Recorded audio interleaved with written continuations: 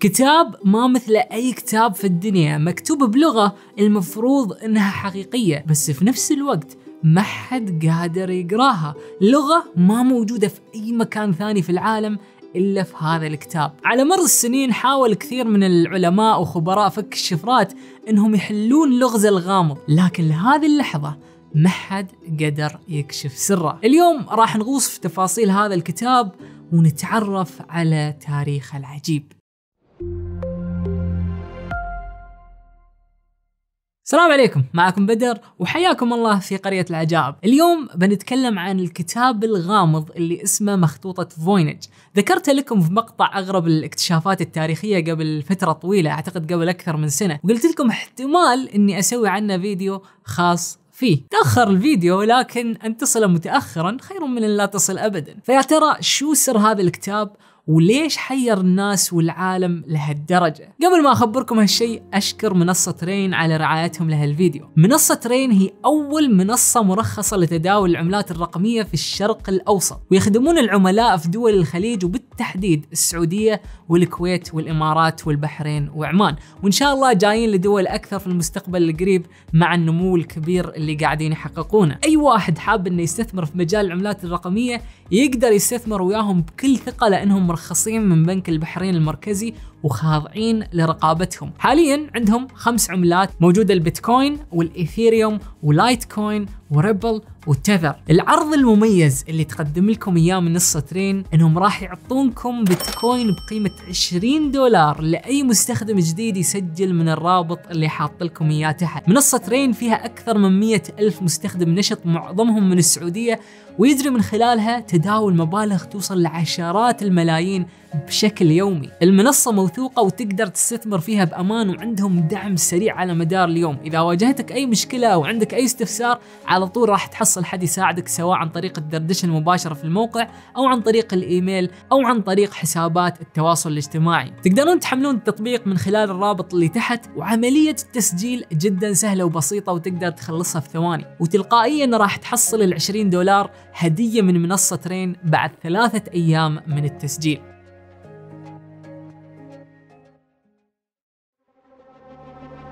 مخطوطة أو كتاب فوينج هذا الكتاب يعتبره كثير من الناس أغرب كتاب في العالم. الشيء العجيب في هالكتاب إنه مكتوب بلغة ما مفهومة ومو معروفة. ما في أي آثار ولا حضارة ولا وثائق في العالم فيها لغة شبيهة بهذه ابدا. لغة فريدة من نوعها ما ظهرت في أي مكان ثاني. الكاتب أو المصدر الأصلي للكتاب بعد غير معروف لكن أشهر مالك لهذا الكتاب هو بائع كتب اسمه ويلفريد فوينج هذا أول إنسان معروف أنه كان يملك الكتاب بشكل مؤكد وموثق تاريخيا. وعشان كذا سموه على اسمه سموه كتاب فوينج صاحبنا فوينج انولد في سنة 1865 في بولندا. قضى كثير من سنوات شبابه مسجون بسبب ميوله الثورية على نظام الإمبراطورية الروسية اللي كانت تحكم بولندا في ذاك الوقت. فوينج كان مسجون في سجن سيبيريا. وسجن سيبيريا هذا كان من أقسى السجون وأشدها. يكفي أن سيبيريا واحدة من أبرد المناطق في العالم. لكن صاحبنا فوينج كان شخص واسع الحيلة.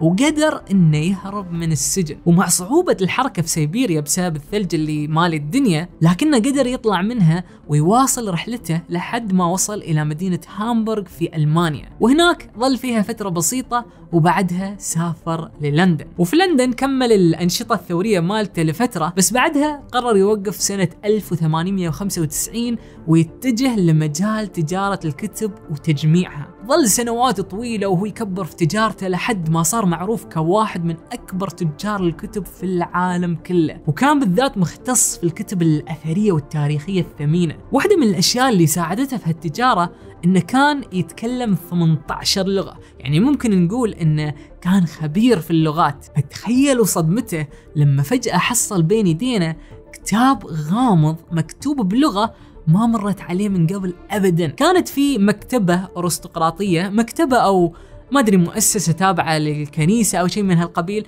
المهم نعتبرها مثل المكان اللي فيه كتب وكانت هاي المؤسسة موجودة في إيطاليا. وسنة 1912 هذه المكتبة أو المؤسسة كانت على حافة الإفلاس. فقرروا أصحابها أنهم يبيعون شوي من الكتب اللي عندهم عشان ينقذون نفسهم. وأول ما سمع صاحبنا فوينج بالخبر على طول راح لهم واشترى منهم مجموعة من الكتب التاريخية النادرة اللي يعتبرها أنها كتب ثمينة. اشترى منهم حوالي 30 كتاب. وواحد من هذه الكتب كان كتابنا الغامض اللي بعدين تسمى على اسمه مخطوطة فوينج صاحبنا فوينج لما شاف الكتاب كان مذهول ومستغرب. في حياته ما شاف أي شيء يشبه هذه اللغة. فيعني فوينج كان أول واحد حاول يفك شفرة هالكتاب. ومع إنه كان خبير باللغات مثل ما قلنا كان يتكلم 18 لغة لكن ما كانت عنده أدنى فكرة عن هذه اللغة اللي في الكتاب ولا عن شو يتكلم. حاول يعرضها على بروفيسورات في الجامعات وخبراء لغات ثانيين لكن محاولاته كلها باءت بالفشل. ما حد قدر يعرف عن هذا الكتاب أو اللغة اللي مكتوبة فيه أي شيء. وظل فوينج مستمر يحاول بكل الوسائل والطرق إنه يفك شفرة هالكتاب لحد ما مات في سنة 1930 بدون ما يوصل لأي نتيجة. من بعد موته سموا هذا الكتاب على اسمه سموه كتاب أو مخطوطة فوينج وليومنا هذا لا زال سره مجهول وما حد قادر إنه يفهم معناه أو اللغة اللي انكتب فيها. طيب بيجي واحد ويقول يمكن هاي اللغة مجرد لغة مزيفة وخرابيط واحد ألفها من رأس. المشكلة أن خبراء اللغات حللوا الأحرف والكلمات وحصلوا أن في تناسق وثبات في نمط الكتابة وتركيب الكلمات. فيعني من وجهة نظرهم النصوص هذه مستحيل تكون شيء حد كتبه بعشوائية بس في نفس الوقت ما قادرين يحللونها ويوصلون لمعانيها. هذا الكتاب يحتوي على 240 صفحة مكتوبة على أوراق مصنوعة من جلد الحيوانات. وغير النصوص اللي فيه أيضا يحتوي على كمية كبيرة من الرسومات. معظمها رسومات لأعشاب ونباتات لكن ولا نبتة من هذه النباتات تمثل نبتة موجودة على أرض الواقع. في تشابه لكن ما في تطابق. في بعد رسومات تبدو كأنها رسومات لمجرات وكواكب وشمس وقمر يعني أشياء شبيهة برسوم علم الفلك والأبراج والأمور هاي. وغيرها بعد في رسوم لنساء عاريات على كثير من صفحات الكتاب. بس يعني مرسومات بطريقة ممكن نعتبرها قبيحة. فواضح أنه ما كان الهدف منها الإثارة أو الإغراء. من خلال هذه الرسومات نقدر نقول أن الكتاب يتكلم عن عدة مواضيع. في أقسام تتكلم عن الطب وفي أقسام تتكلم عن الطبيعة والنباتات وفي أقسام تتكلم عن الفلك والكواكب وفي أقسام على ما يبدو أنها تتكلم عن وصفات الأعشاب. الكتاب حاليا محفوظ في مكتبة باينك للكتب النادرة واللي موجودة في جامعة ييل الأمريكية. على مدى السنين حاول كثير من علماء اللغات والتاريخ وخبراء فك الشفرات إنهم يكشفون سره. للحين ما في حد وصل للسر الأكيد لكن في كثير من النظريات عن الأشياء اللي يتكلم عنها وعن مصدره ومن اللي كتبه. من أوائل النظريات اللي طرحت على الطاولة إن صاحبنا فوينج هو صانع هذا الكتاب وإن الكتاب كان في الواقع عمل تزويري متقن من قبله. يعني أصحاب النظرية يقولون إن فوينج كان تاجر كتب نادرة. وما كان تاجر عادي كان من أكبر تجار الكتب في العالم وقتها. وفوق هذا كان بعد خبير في اللغات عنده 18 لغة. فممكن إن تكون عنده القدرة إنه يصنع نص بلغة تشبه اللغات الحقيقية بس يكون ما لها معنى في نفس الوقت. وفوق هذا الكتاب كان مكلف يعني حتى في صفحات مطوية داخله. في عدة صفحات تقدر تفتحها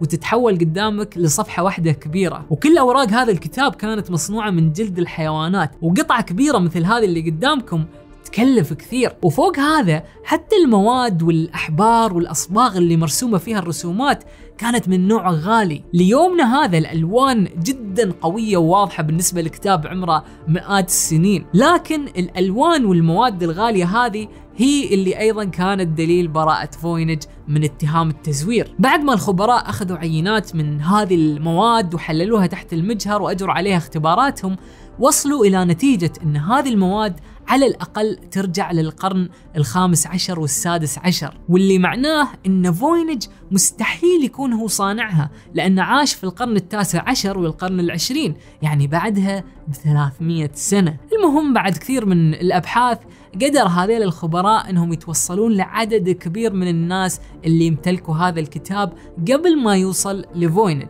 ما راح ندخل في تفاصيل كل واحد منهم لأنه بنطول وبيصير الموضوع ممل. المهم إنهم قدروا يصنعون خط زمني بعدد من الأسماء والشخصيات اللي يعني ممكن نقول إنهم كانوا شبه متأكدين إن هذا الكتاب كان بحوزتهم في فترة من الفترات. من ضمن هذه الشخصيات في علماء وأطباء وحتى حكام وأباطرة. كانوا الخبراء يعتقدون إن هذا الكتاب انكتب في القرن السادس عشر أو السابع عشر على عهد الإمبراطور الروماني رودولف الثاني، وكانوا يعتقدون إن هذا الإمبراطور كان من أوائل الناس اللي يمتلكوا الكتاب. طيب هذا الإمبراطور من وين جاب الكتاب؟ كانت في نظرية قوية تقول انه اشتراه من منجم إنجليزي اسمه إدوارد كيلي. إدوارد كيلي هذا كان يدعي إنه يقدر يتواصل مع الأرواح والملائكة من أيام ما كان عايش في إنجلترا. هو أصله من إنجلترا. ولما كان عايش هناك كان يشتغل في وظيفة وانطرد منها بسبب تهمة تزوير مستندات رسمية.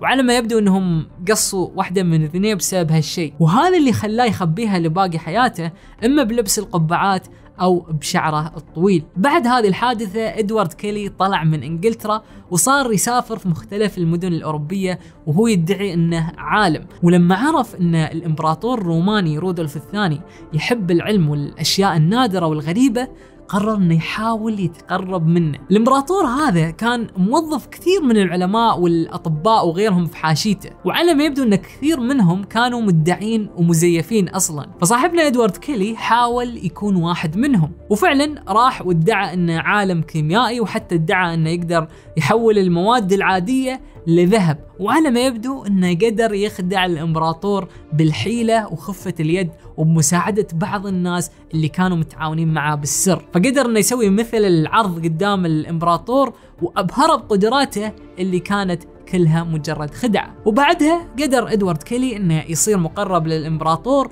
ويصير واحد من حاشيته وعلمائه اللي موظفينهم عنده. بعدها قعد إدوارد كيلي يفكر. كيف ممكن أحصل فلوس زيادة من هالإمبراطور الأهبل؟ وبعد التفكير قرر إنه يصنع كتاب بلغة غريبة ويقول إنه كتاب نادر في علم جاي من الملائكة اللي يدعي إنه يقدر يتواصل معاهم. وفعلا استخدم إدوارد كيلي مهارات التزوير اللي عنده من قبل من أيام ما كان في إنجلترا وجاب مواد غالية وقدر إنه يصنع هذا الكتاب على أعلى مستوى من الاحترافية. وبعدها راح للإمبراطور وعرض عليه وقدر إنه يقنعه إن قيمته توصل ل 600 عملة معدنية من فلوسهم اللي كانوا يستخدمونها في ذاك الوقت. وعشان تستوعبون حجم هالمبلغ فقيمته اليوم تقدر ب 2 كيلو جرام من الذهب. باع الكتاب ب 2 كيلو ذهب. وهني نحصل دافع قوي جدا يدعم هالنظرية وإن إدوارد كيلي هو صانع هذا الكتاب وإنه زور كل شيء فيه، لكن هذه النظرية اللي كانت جدا قوية لفترة طويلة تم أخيرا نفيها بعد ما حللوا التاريخ الكربوني لأوراق الكتاب، لفترة طويلة ما كانوا قادرين يسوون تحليل كربوني للكتاب، لأن التحليل هذا يتطلب إنهم يقطعون جزء كبير من صفحات الكتاب عشان يفحصونها ويسوون هذا التحليل عليها، فهذا الشيء كان مرفوض تماما لأنه بيخرب الكتاب. فما كان عندهم غير التحليل المجهري اللي كان يقول إن الكتاب يرجع تاريخه للقرن الخامس عشر أو السادس عشر. لكن الحين أخيرا تطورت التكنولوجيا وصارت في إمكانية إنهم يسوون التحليل الكربوني بدون ما يقطعون جزء كبير من صفحات الكتاب. وفعلا راحوا للخبراء وأخذوا أربع عينات صغيرة من صفحات مختلفة من الكتاب وحللوها بهذا التحليل الكربوني اللي يقدر يخليهم يعرفون بدقة تاريخ الجلد الحيواني اللي انصنعت منه أوراق الكتاب. واكتشفوا في النهاية إن هذا الكتاب في الواقع يرجع لبدايات القرن الثالث عشر. وصاروا متأكدين إن الجلد هذا يرجع تاريخه للفترة ما بين سنة 1404 وسنة 1438 وهذا الاكتشاف الحديث حطم كثير من النظريات اللي كانت تدور حول هذا الكتاب واللي من ضمنها نظرية إدوارد كيلي. لأن إدوارد كيلي عاش في القرن السادس عشر والكتاب يرجع للقرن الثالث عشر. في بعد كانت نظريات عن شخصيات ثانية مثل ليوناردو دافنشي وإن احتمال هو اللي ألف الكتاب وفي شخصيات بعد مشهورة غيره من فنانين وعباقرة على مر التاريخ. لكن كثير من هذه النظريات انهارت بعد التحليل الكربوني اللي أكد أن هذا الكتاب يرجع للقرن الثالث عشر. هذا الاكتشاف خلى الوضع محير أكثر وأكثر وليومنا هذا ما عارفين أصل هالكتاب. اكتشفوا كثير من ملاكه لكنهم ما قادرين يوصلون لأصله أو الشخص اللي كتبه. على مر السنين حاول كثيرين من خبراء فك الشفرات أنهم يفهمون معنى اللغة اللي موجودة في هالكتاب. نتكلم عن أكثر الناس المحترفين في هالمجال على مر التاريخ. واحد من هذيله كان ويليام فريدمان واللي يعتبره كثيرين أنه أكبر عالم شفرات في العصر الحديث. هذا الرجل كان قائد قسم الأبحاث في الجيش الأمريكي من سنة 1930 وكان هو فريقه المسؤولين عن فك شفرة الجيش الياباني في الحرب العالمية الثانية. وفكهم لهالشفرة كان واحدة من المفاتيح اللي ساعدت أمريكا إنها تنتصر على اليابان في ذاك الوقت. فيعني إحنا نتكلم هنا عن واحد من أكبر خبراء فك الشفرات على مر التاريخ. فهذا الإنسان كان عنده فضول واهتمام كبير بكتاب فوينج فراح وجمع فريق من خبراء فك الشفرات اللي يعرفهم وبدوا مع بعض يحاولون أنهم يفكون شفرة هذا الكتاب ويفهمون لغته. استمرت محاولاتهم وأبحاثهم عن الكتاب لمدة 40 سنة. لكن مع كل هذا كانت النتيجة اللي وصل لها فريدمان أن حل شفرة هذا الكتاب مستحيلة. والسبب أن اللغة هذه في الواقع ما لها أي معنى. هذه كانت الخلاصة اللي وصل لها واحد من أكبر علماء فك الشفرات بعد 40 سنة من البحث والمحاولة. في العصر الحديث كانت في محاولات لاستخدام الكمبيوتر والذكاء الصناعي عشان يحللون نص الكتاب. دخلوا كل حرف موجود فيه على قاعدة بيانات ضخمة. وبعدين عطوها للكمبيوتر عشان يحلل ويقارن أنماط توزيع الأحرف والكلمات ما بين هذا النص اللي موجود في الكتاب والنصوص الثانية اللي مكتوبة باللغات الطبيعية المعروفة اللي نستخدمها. النتيجة كانت أن كثير من الأحرف والكلمات يتشابه توزيعها ونمط تكرارها مع اللغات الطبيعية المعروفة. لكن معظم العناصر أو تركيبات الجمل في نص كتاب فوينج ما تتماشى مع أنماط اللغات الطبيعية، يعني باختصار اللغة هذه اللي مكتوب فيها الكتاب تبدو من الخارج كأنها لغة طبيعية، في واحد ذكي قدر يركبها كأنها لغة طبيعية، لكن في نفس الوقت ما لها معنى، فهذا الشيء العجيب في الموضوع، ومع كل هذه التكنولوجيا وحتى التحليلات التقنية المتقدمة يظل هذا الكتاب لغز غامض ما حد قدر يحله ليومنا هذا. هل يا ترى بينكشف وقت قريب ولا هو فعلا عبارة عن خدعة مصنوعة باحترافية ما لها مثيل؟ سؤال ما أعتقد إنه بنحصل جوابه أي وقت قريب. أتمنى تكونوا استمتعتوا بالمقطع. إذا عجبكم لا تنسون اللايك واشتركوا في القناة وفعلوا زر الجرس. وهذه بعد مقاطع سابقة حلوة تقدرون تشوفونها إذا ما كنتوا شفتوها قبل. شكرا لكم على المتابعة. أشوفكم في المقطع الجاي. ومع السلامة.